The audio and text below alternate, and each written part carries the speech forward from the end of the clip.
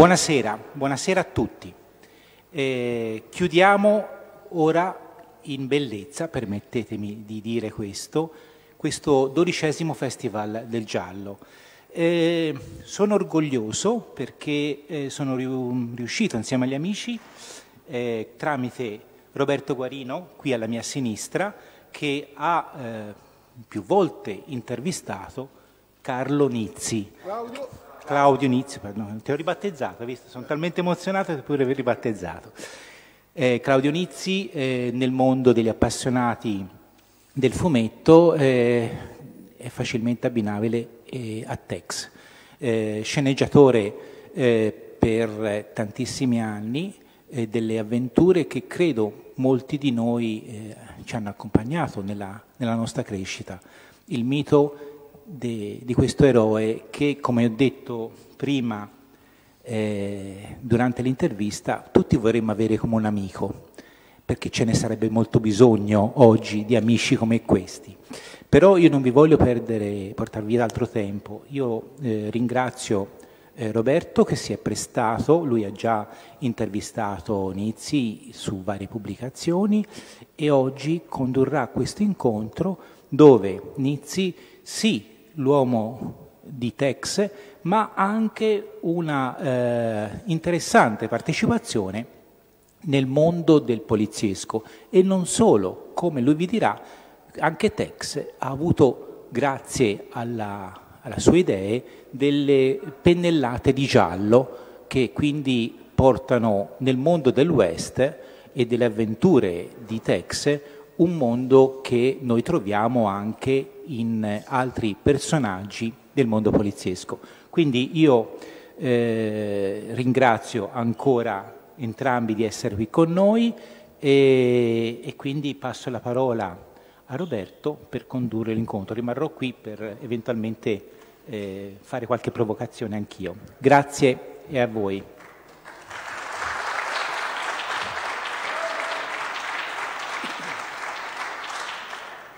Beh, due presentazioni per Claudio Inizi, per chi non lo conoscesse, eh, è il decano degli sceneggiatori italiani di fumetti, forse il più grande sceneggiatore di fumetti viventi. E quindi uh. è vero, insomma. Passiamo poi a parlare di Tex, ma visto che si parla di giallo, incominciamo a parlare un po' di giallo. Eh, e di Tex. E poi anche di Tex. Però. Di giallo e di Tex. in Tex. Vuoi parlare subito del giallo in Tex? No, no dai. No arriviamo dopo. Prima di arrivare a Tex, tu hai fatto molte cose, se magari puoi dire brevemente dal vittorioso al Ma giornalino. Dille, dille tu che fa, le dici meglio, dai. Vabbè. Nizzi ha, eh, ha, esordito nel fumetto sul, eh, sul, Vittorioso, ha scritto qualche serie per il Vittorioso quando il, Vittori il Vittorioso era una rivista cattolica di fumetti, eh, Nizzi è giovane e quindi quando ha iniziato a scrivere lui per il Vittorioso, il Vittorioso era ormai gli sgoccioli, quindi ha potuto lavorare pochissimo per il Vittorioso, è passato poi eh, a varie a, a riviste eh, che all'epoca facevano racconti, eccetera, novella e cose di questo genere. Riviste e, femminili. Femminili, però le, le, donne sono sempre state delle grandi lettrici, anche all'epoca leggevano e quindi lui ha scritto per, per queste riviste. E poi passato al giornalino. Eh, dove in breve è diventato il più importante eh, sceneggiatore, ha sceneggiato eh, un, un, tantissime storie libere, che fra l'altro abbiamo, pubblica abbiamo, pubblicato noi l'anno scorso eh, un volume molto interessante, se a qualcuno è interessato lo può cercare, che si intitola 53 storie brevi, che raccoglie tutte le storie di inizi senza personaggio fisso, con tutti i disegnatori migliori. E, poi è passato a serie eh, molto importanti di varie, vario genere, eh, eh, avventuroso, eh, western, western forse eh, la sua serie più famosa è, mm, è le Ryuma, eh, comiche, ad esempio Piccolo Dente, di cui sta uscendo adesso la riproposta integrale, e, e, poi anche gialli. E al giallo ci è arrivato tardi perché scrivendo per il giornalino non, non si poteva che una rivista... Ho scritto cattolica... due serie gialle per il giornalino, mm. eh?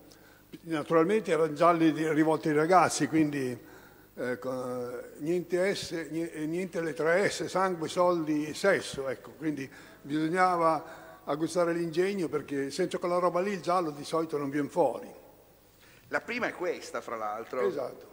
Che è il tenente Marlo, se vuoi dire qualcosa di questa serie. No, no, eh, perché sennò non arriviamo più a Tex. Vuoi arrivare subito a Tex, vabbè. Comunque questa è una serie che ha, scritto, che ha disegnato eh, Sergio Zaniboni, eh, è, un, è, una serie poliziesca con un, un personaggio molto umano, un, un poliziotto eh, americano che ricorda forse un po' Maigret, eh, anche se il, il, me il, meccanismo giallo è quello del procedural, quello di Ed McBain, il... Mm, procedural... Quindi, mm, sì, e quindi ci sono, c'è tutta... Uh, sono serie, è una serie dove, sono, dove, si vede l'indagine a tutto tondo e, e ci sono i, mm, vari eh, personaggi eh, impegnati a fare le indagini. Siccome si trattava di storie brevi, eh, i personaggi vengono approfonditi eh, dopo, eh, do, episodio dopo, dopo, episodio e quindi si riesce anche a vedere la vita eh, privata di questo Marlo, la Ci stai dilungando?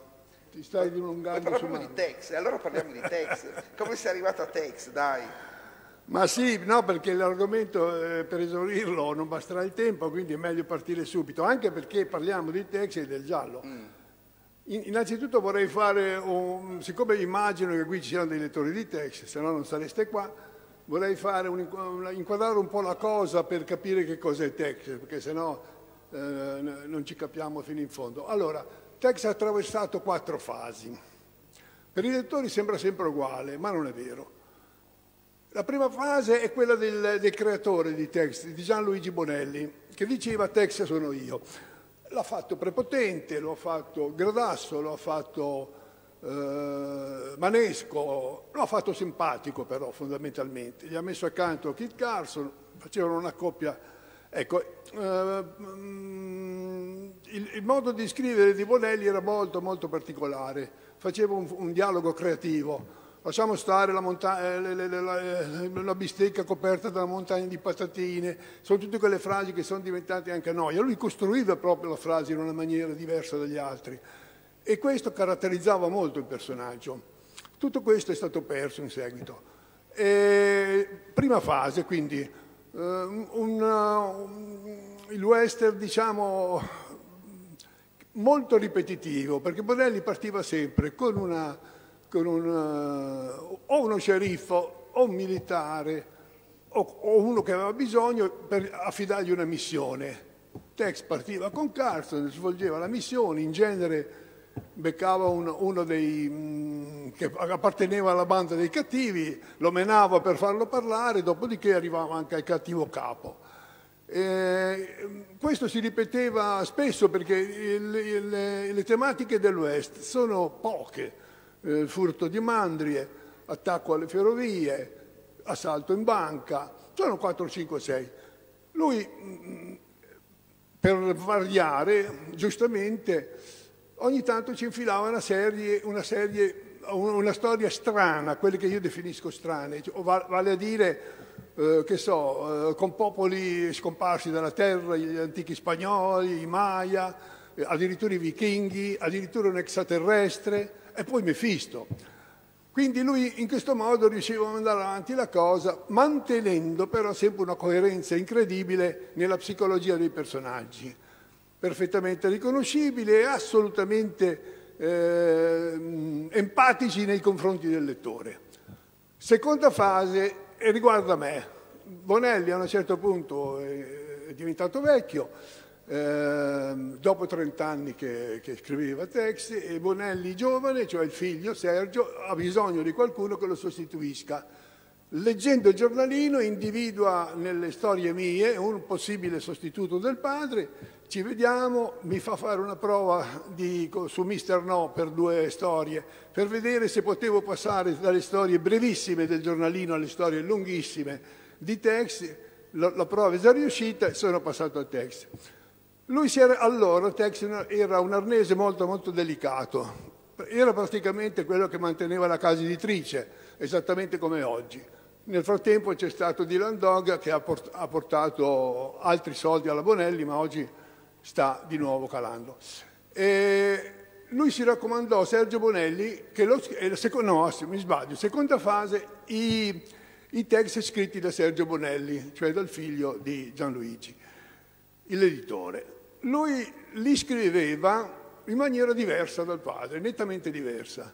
Non sapeva fare il dialogo del padre, non sapeva fare i battibecchi fra Tex e Carlson, quindi non metteva mai Tex e Carlson, o li metteva raramente, preferiva mettere Tex con Tiger Jack o col figlio o da solo. Insomma, lui evitava in tutti i modi di, di, dover, mm, di dover, fare questi battibecchi perché non gli riuscivano.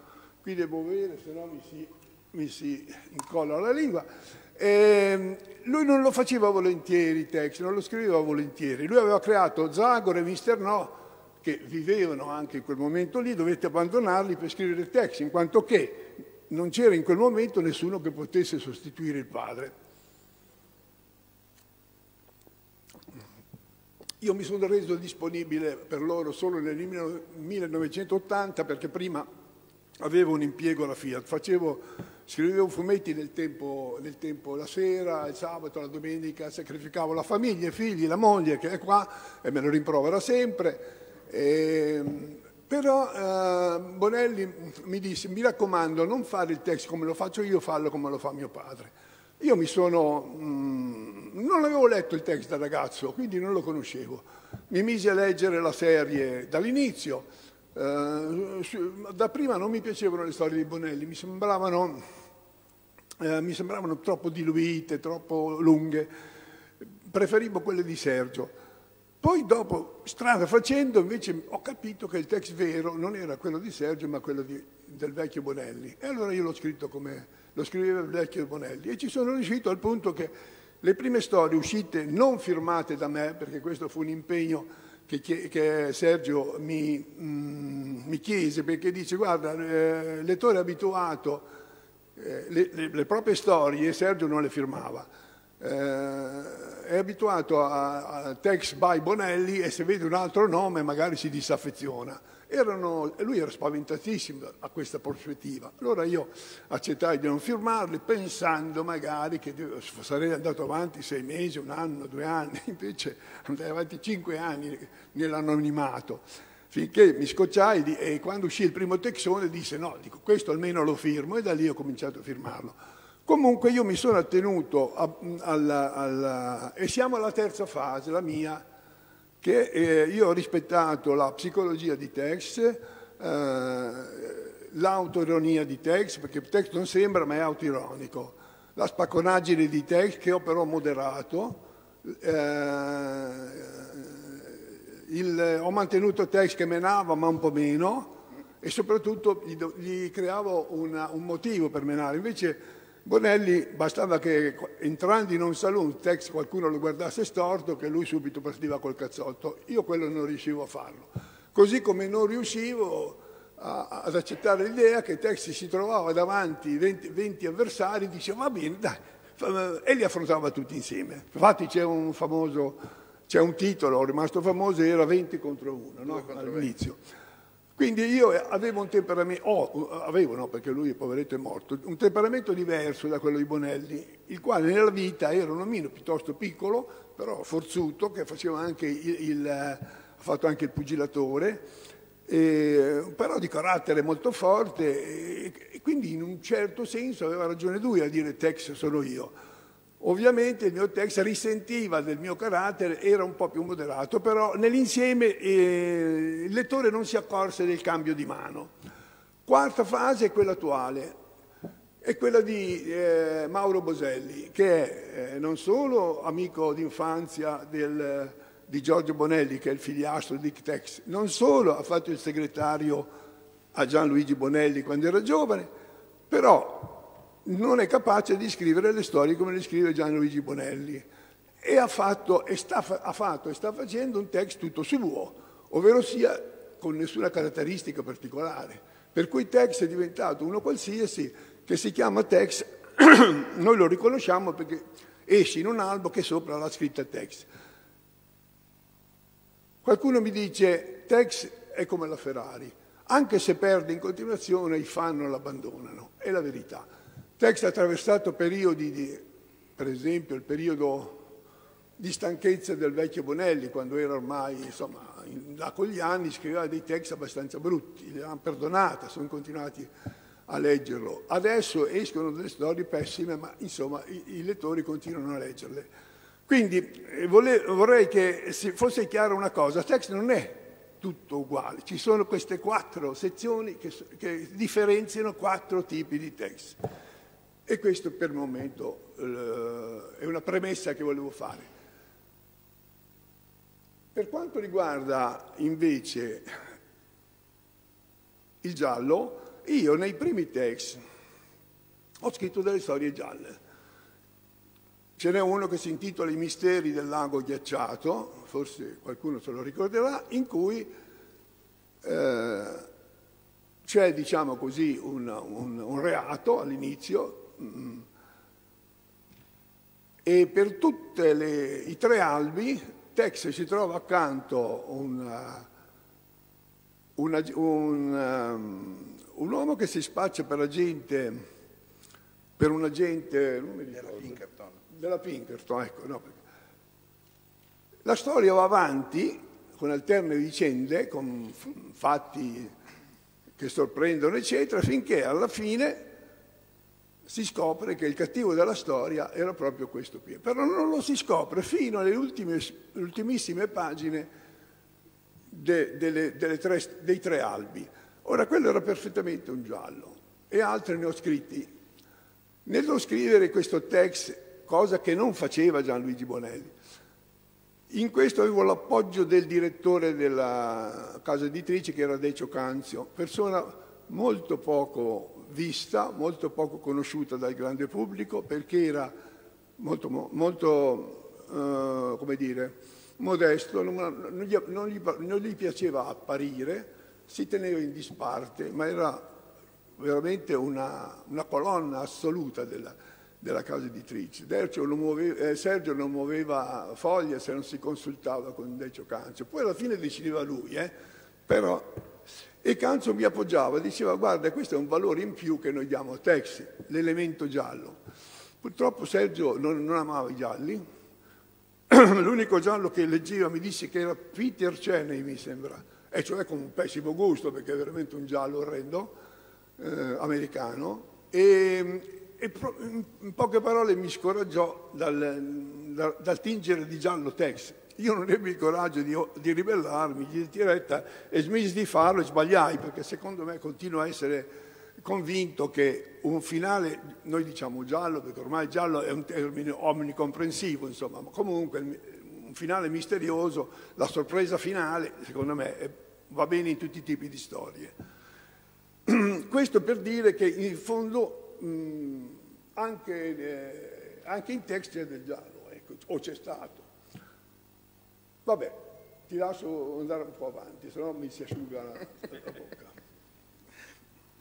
Vuoi parlare un pochino del, dei disegnatori con cui hai collaborato? Hai incontrato praticamente, grazie a Tex e, e, alle, e al giornalino, eh, tutti i più importanti disegnatori. Con quali ti sei, sei stato più a tuo agio? Quali... Beh, guarda, con quelli bravi. Con quelli bravi mi sono trovato agio con tutti. Quali sono quelli bravi? Quelli bravi erano al giornalino, erano mm, Giovannini, Landolfi, De Luca, eh, Zaniboni, adesso non mi, me ne dimenticherò molti.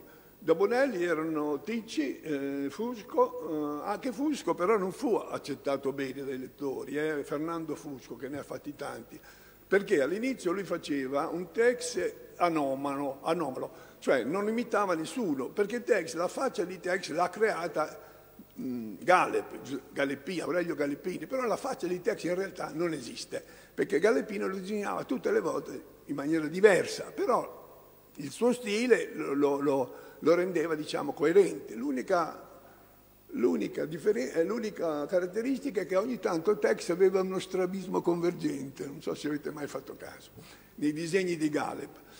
Quando, quando Sergio Bonelli si trovò perché all'inizio bastava Galep a fare tutto, perché Tex usciva nelle striscioline e lui riusciva mm, a mantenere il ritmo. Tra l'altro ci sono delle, delle, delle, degli aneddoti bellissimi perché a quel tempo non c'erano tutti gli strumenti che ci sono oggi, no?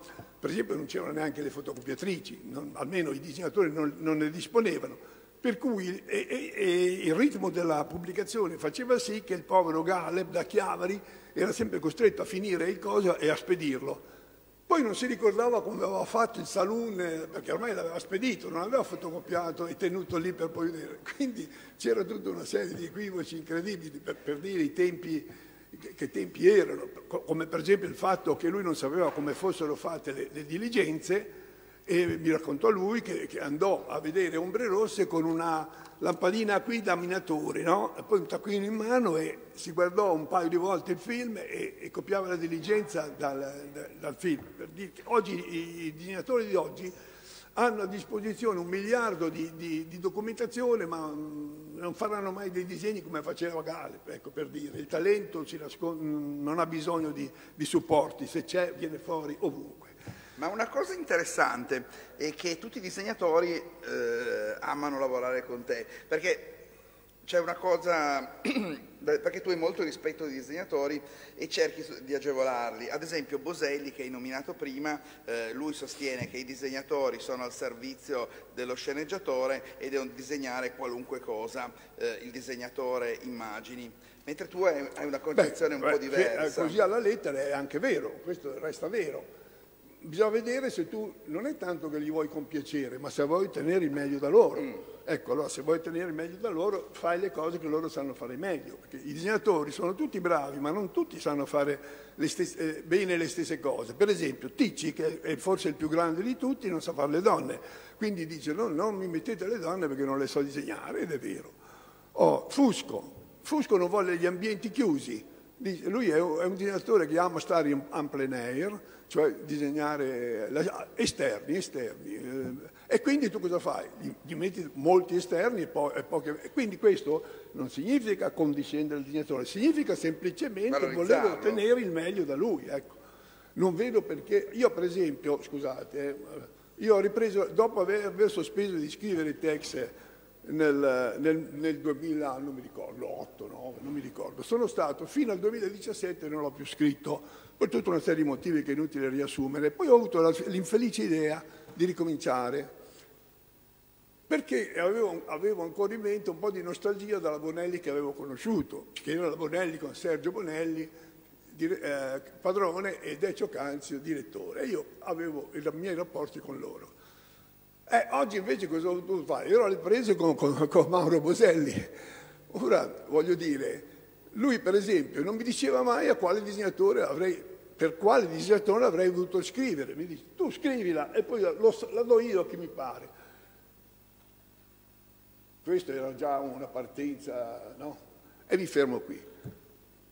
E riprendo il discorso di prima, insomma. Quindi eh, sarebbe come se un, uno sceneggiatore di cinema facesse fare le parti sbagliate a, agli attori, no? Butterebbe via la, la, la, il vantaggio di avere un bravo attore. E quindi il motivo è quello. E l'altra cosa, visto per continuare con le differenze con Boselli... no, che... ma io non è che voglio fare... No, beh, però forse eh, è bene chiarire. Eh, Boselli non fa soggetti, mentre tu invece fai... Ma certo, ma questo per due motivi. Uno, perché il disegnatore ha diritto di sapere come va a finire la storia.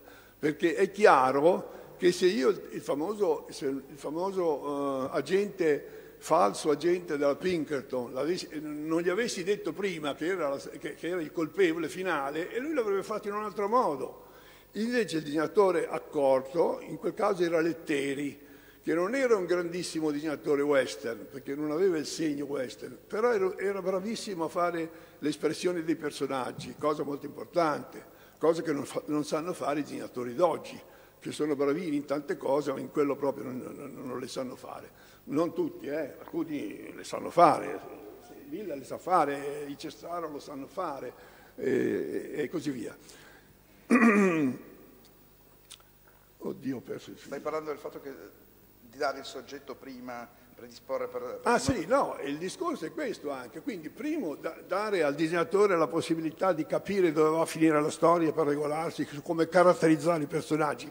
Due, anche per me. Io ho scritto anche 12 storie contemporaneamente fra, negli, anni 80, eh, negli anni 80, quando ero rimasto solo a scriverle. Tanto è vero che mi sono buscato anche una depressione per eccesso di lavoro dopo, per affaticamento. Comunque... Mh, se io non avessi fatto una scaletta molto dettagliata, perché io cosa facevo? Scrivevo 100 pagine per un disegnatore e, gli venivano spedite. E quel disegnatore lì, diciamo, era a posto per tot mesi a seconda della, della sua velocità. Perché una volta, per esempio, Gallet faceva anche 40 tavole al mese. Oggi abbiamo disegnatori giovani che ne fanno 7, 8, eh, non si sa perché sono ricchi o perché sono pigri, ricchi di famiglia, eh?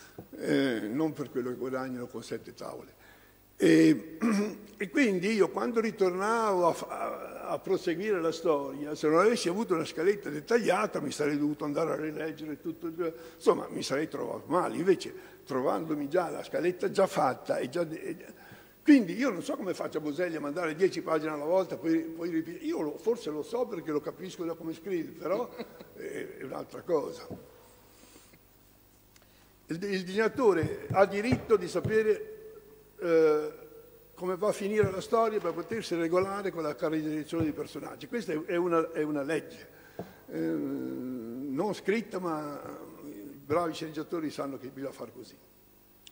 Direi, lasciamo poi text per le domande che il pubblico senz'altro ne avrà. Parliamo brevemente degli, delle, delle, altre cose gialle che hai fatto e quindi soprattutto sì, visto che siamo... Ah, non c'è il manifesto. è questo visto che siamo al Festival del Giallo, c'è anche Nick Ryder. Allora, quando io ero, quando anni, a metà degli anni Ottanta, scrivevano ancora qualche storia al vecchio Bonelli e qualche storia Sergio. Poi c'ero io, quindi avevo ancora dei margini di tempo. Mi chiesero di, di inventare una storia gialla, una serie gialla. E allora io pensai di, di, di farla. Se avessi saputo come sare- cosa sarebbe successo di lì a poco, ovvero che mi sarebbe toccato scrivere tutti i text a me, non l'avrei scritta, perché infatti l'ho, cominciato e l'ho dovuto abbandonare. A parte il fatto che mh, io amo, non amo molto parlare di Rick Ryder, che mi ha dato quasi solo dispiaceri, mi spiego.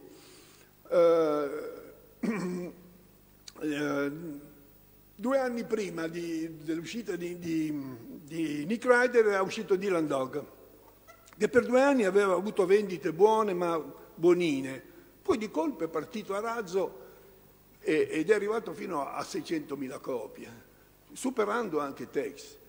La casa editrice impazzisce, da quel momento si pensa solo di Landog. Quando io scrivo il mio giallo e cerco i disegnatori, mi arrivano tutti gli scartini degli altri, no? delle altre sedie, per quelli che, che, che Tiziano non voleva, cacciava via, ma li davano a me.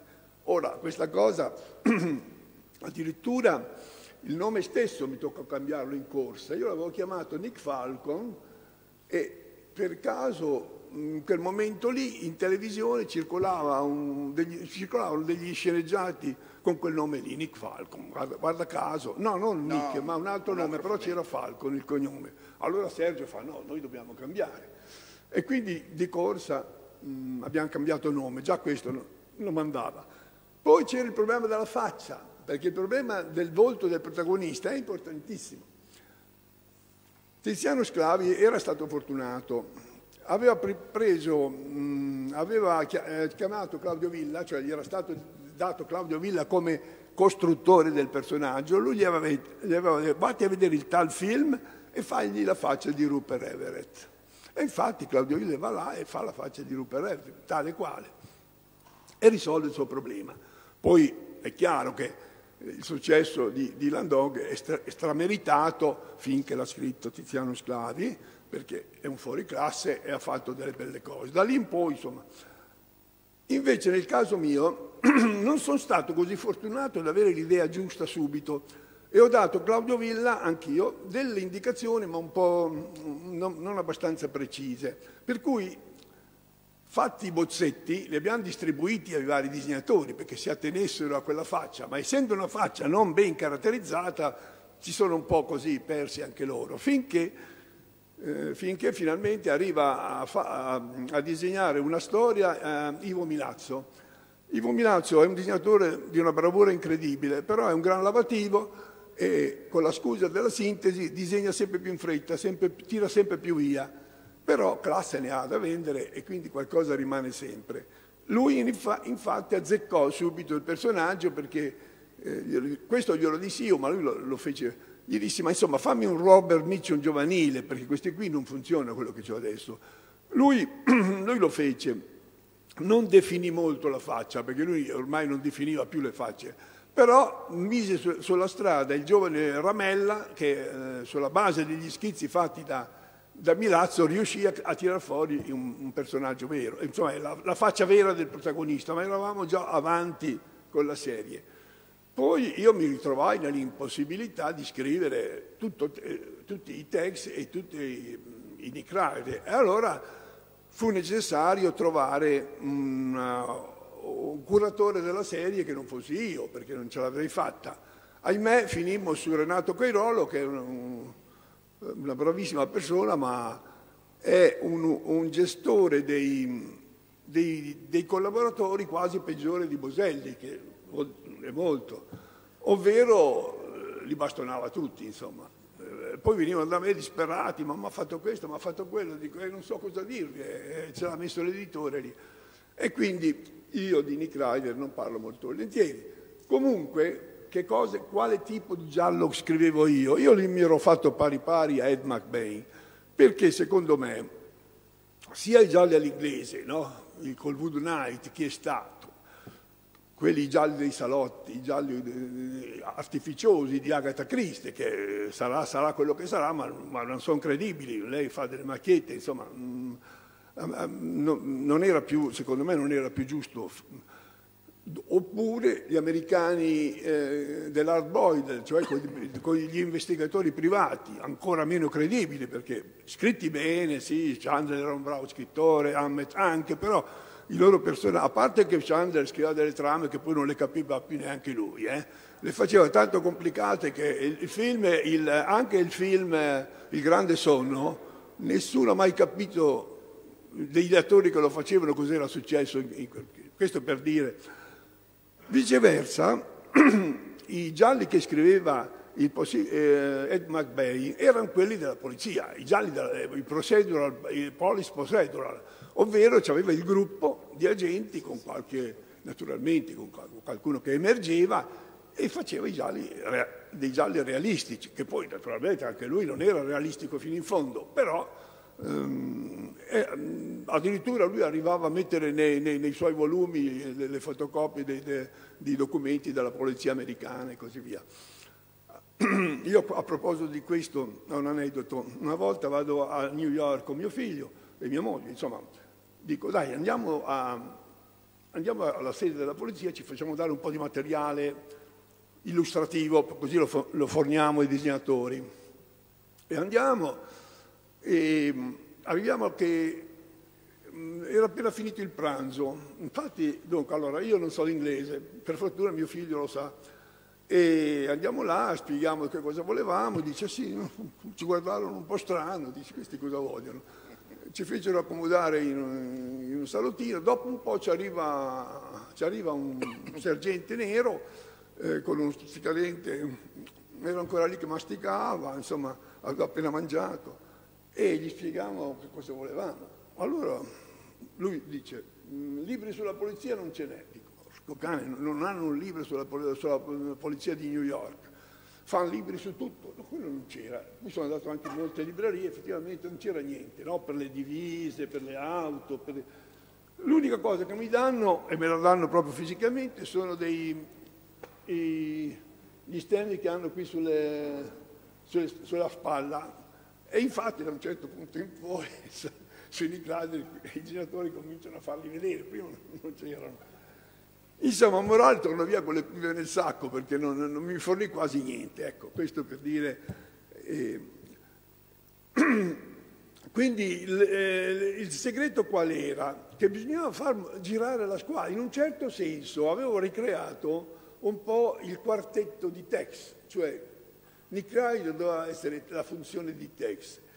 Marvin Brown, che era il, il nero, che poi anche lì, era il periodo che andava di gran moda Eddie Murphy, no? con i suoi gialli, e quella, la sua famosa risata. Solo che i disegnatori non lo sapevano fare. Mi facevano sempre un negraccio che non, non era simpatico. Quindi, insomma, eh, poi c'era il vecchio tenente che era Carson e poi c'era il giovane Jimmy Garner davanti al computer che era eh, Kate Wheeler. Kate Wheeler. E poi c'erano anche altri, ma sostanzialmente era il gruppo, perché in Tex era molto importante il gruppo, prima non l'ho detto.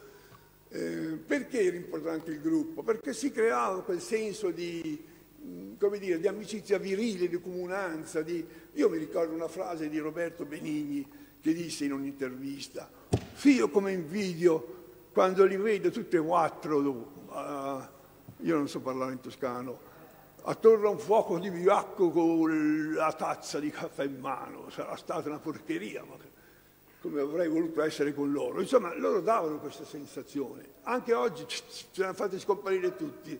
Tex agisce da solo, oppure con uno, oppure con l'altro, ma sono scomparsi i battibecchi con, con Carson, insomma, vabbè, oggi è un'altra cosa Tex.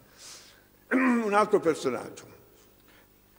Quindi, tornando a Nick Ryder, eh, l'obiettivo era di rifare, eh, lì però, insomma, io ho fatto finché ho potuto, ne ho scritto una cinquantina di numeri, ma subito ne avevo scritto al, al numero 10 e 11, cominciamo subito a chiedere aiuto a Gino D'Antonio, il quale, essendo un fior di, di sceneggiatore, eh, capì subito tutto e fece dei, dei, dei, magnifici, forse anche più belli dei miei, eh, o anche senza forse, perché era proprio bravo usando il gruppo. No? Invece quelli che vennero dopo, che trovati dal, dal Queirolo, eh, io mi ricordo un anno, mh, mm, io ero andato per fare una, una cosa, un, un, uno stes, cioè una, una, scuola di fumetto con, con Bonfatti a, nelle Marche, e, e la sera eh, mi ritrovo mh, mm, in albergo con eh, Faraci che doveva fare Tito Faracci, che sarebbe, avrebbe dovuto fare text. E allora mia moglie è testimone. Faracci aveva due figli, uno dei quali, io avevo le gambe accavallate, uno dei quali mi venne a sedere sulla mia gamba e voleva che io gli facessi su giù questa gamba. Allora fai pure su giù gamba al figlio di Faracci e intanto gli spiegavo come sarebbe stato opportuno che lui seguisse tutto il gruppo e non solo e invece Faraci mi promise, sì, sì, sì, sì, sì, sì, sì d'accordo, d'accordo, hai ragione, va. poi fece il cavolo suo e faceva vedere solo i due, poi malamente. Comunque eh, qualche traccia l'ha lasciata perché hanno sentito il bisogno di ripescarlo adesso di Clyde. È uscito da cinque mesi che dopo essere finito col numero 200 anni fa, adesso ha ripreso ma penso che ne faranno solo una miniserie perché adesso alla Bonelli a parte Tex e a parte un po' ancora Mister No, no, Mister No, scusate, Dylan Dog, che pur, essendo, pur avendo calato molto le tirature ancora vende bene, eh, quasi niente di... Ah, Giulia va ancora benino, mm, benino insomma, sopravvive, quasi, niente, quasi nessun personaggio che fanno nuovo funziona, dopo un po' lo devono chiudere perché non va, solo Tex ormai è rimasto, allora loro fanno Tex mensile, tutto Tex, Tex ristampa, eh, text giovanile, text grosso, text piccolo, text a colori, text giallo, insomma lo stanno cannibalizzando questo povero text. Direi, perché si avvicina l'ora della chiusura, ah, ecco, allora no, forse eh, abbiamo parlato di text dei, ehm, dei gialli che, a fumetti, però eh, tu oltre a scrivere fumetti hai anche scritto libri. Ad esempio questo, L'orrendo delitto del vicolo Babbini. Magari se ci parli brevemente del, delle tue esperienze letterarie con il giallo? Allora, è successo questo. Io ero partito scrivendo novelle che poi mi fecero, per il Vittorioso mi fecero fare di fumetti. Poi alla fine, quando chiuse il Vittorioso, scrissi per due anni eh, racconti per riviste femminili e anche romanzetti per riviste femminili. Insomma, me era rimasta la voglia di scrivere non a fumetti. Quando ho smesso di scrivere text nel 2000, 2008, diciamo, e stanco di scrivere dell'America, che era, era, un'America fasulla, perché quella, sia quella di Texas sia quella di... di è, un, è, è un'America vista, vista, da un italiano e da un italiano neanche, ehm, come dire, mh, documentato fi, fino allo spasimo. E mi venne voglia di scrivere, io la mia vita, io sono nato in Algeria per caso, e poi ho, ho passato non per caso 15 anni della mia vita a Fiumalbo, che è qua su, sull'Appennino, vicino alla Bettone.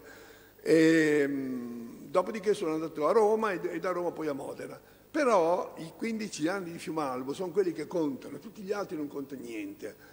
Quelli che uno in camera, no? nel magazzino del proprio, della propria, nella soffitta, no? in cui accumuli tutti i cerpani che poi restano, che li ripiù. E quindi mi è venuta voglia di scrivere delle storie ambientate in quel paese. Non l'ho chiamato più Malbo per non litigare con i miei compaesani. E, tanto è vero che ricordo che la, il, primo, il, il, primo, volume fu recensito dal, dal, dal resto del Carlino o dalla Gazzetta di Modena, non mi ricordo, uno dei due che fece le locandine, sai che fanno le locandine mirate per i posti di villeggiatura? Eh, aveva, detto, eh, aveva, scritto eh, un titolo, adesso non sarà letterale, ma tipo eh, eh, Nizzi svela i, i, i misteri sessu mm, sessuali. sessuali, sì, insomma, de, de, de, del, del paese, ecco. Allora eh, i, i, i, paesani, credendo che avessi raccontato chissà cosa, comprarono il libro, rimasero delusi perché non c'era niente che li riguardasse, ecco, o che riguardasse qualcuno che avevano conosciuto, perché ovviamente era un titolo arbitrario che aveva fatto la, eh, la Gazzetta. Quindi ho scritto eh, ehm, queste cose che non dovevano essere dei gialli, però eh, sono diventati dei gialli perché in me è automatico metterci il finale, il finale cioè, quindi ci mesi il delitto, ci misi la piccola indagine, però nel primo volume era molto più, eh, molto più importante la parte erotica, si intitolava L'epidemia, il, il romanzo si intitola ancora L'epidemia, qui non c'è. Eh, l'epidemia cos'era? Non era, non era il Covid-19, era il fatto che delle donne del paese improvvisamente diventavano vogliosissime, gli si diventavano sfrenate e, e, e, e, provavano dei grandi sensi di colpa perché molti erano donnette di paese, correvano a, a confessarsi dalla, dal parroco e dicevano non so cosa mi succede, ma insomma questo. Allora c'era da capire da, da, da, che cosa avesse eh, fatto scoppiare questa epidemia. Però siccome c'erano diversi personaggi e diverse storielline che andavano avanti insieme, c'era anche quella del delitto e quindi dell'indagine e quindi de, della scoperta sia del delitto poi alla fine sia del perché era scoppiata l'epidemia. E questo era il primo. Il secondo, che lì c'è, è il federale di Borgotto. A proposito, dammelo che faccio vedere la copertina. E, allora, questa in questa copertina si vede, non so se riuscite a vederla, in silhouette nera si vede un federale che alza il braccio per salutare, fa il saluto fascista. Ehm, questa cosa è presa esattamente dal film di Tognazzi, il federale. Siccome il disegnatore non riusciva a fare un federale che mi piacesse, gli disse, ma senti, ma fai una cosa, Vatti a vedere il, il, manifesto che lo trovi su internet di, di, del film di Tognazzi, poi tu lo fai completamente oscuro, lasci fuori solo i bottoni dorati, lo stemma, l'aquilotto, e dietro c'è, la, eh, c'è il paesino. Allora cos'è successo? Quando l'editore a Modena espone questo libro, arriva addosso una donna, gli fa ma non dovete fare queste cose perché io era la figlia di qualche partigiano che era morto, aveva scambiato questo per un, un libro fascista, no? Questo per dire, questo è molto giallo e, e te lo suggerisco perché eh, effettivamente è un giallo, oltre a essere anche altre cose però, perché a me piaceva sempre mettere una cornice paesana attorno. E l'ultimo addirittura mh, è ambientato non più a, a Borgo Torre, ma a quello che sarebbe il San Marcello Pistoiese dell'Emilia, cioè a Pavullo nel Fregnano, che è una cittadina ormai. E il vicolo Babbini in cui avviene l'orrendo delitto, cioè viene fatto trovare dentro dei sacchi un, un cadavere fatto a pezzi, eh, esiste davvero, è un, è un bruttissimo vicolo che, che, che, collega due strade, una più alta e una più bassa, è fatto a gradoni, che era diventato un pisciatoio pubblico, perché era, era, non era mai ben illuminato, tanto è vero che avevano dovuto mettere i cancelli da chiudere la sera, perché sennò diventava Dicono che siamo in ritardo. Dopo il, ah sì, Beh, finisco subito. Dopo il film la gente andava, dopo il libro, la gente andava a farsi i selfie, i selfie nel piccolo bambini. Allora gli abitanti del piccolo bambini, che a quel punto sono stati tirati in ballo, hanno cominciato a mettere fiori dappertutto, insomma, hanno trasformato il piccolo in una... Fine. C'è qualcuno che ha qualche domanda per Claudio Nicci? Eh.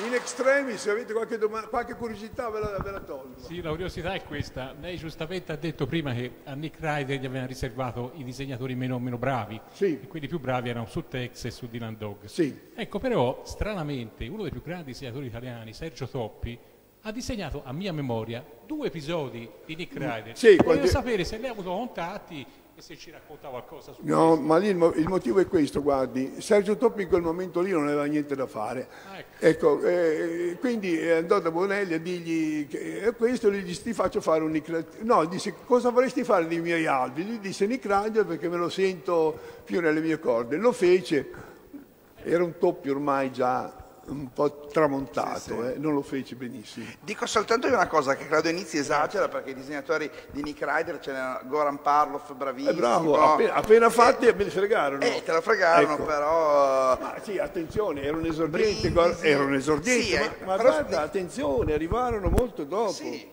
Arrivavano molto dopo. All'inizio- All'inizio avevo Caramuta, avevo Trigo, avevo, eh, insomma, mm, non disegnatori bravi. Direi che dobbiamo chiudere perché devi fare qualche autografo e poi chiudere la biblioteca. Va bene, allora chiudiamo tutto e buonanotte. E buonanotte. Grazie di essere stati con noi, ringraziamo la biblioteca che ci ha ospitato anche quest'anno, grazie a Carlo Nizzi, Dai. Claudio Nizzi, eh. Eh, ormai. Sì. E grazie a Roberto Guarino che ci ha aiutato. E con questo chiudiamo il dodicesimo Festival del Giallo, l'appuntamento per il prossimo anno.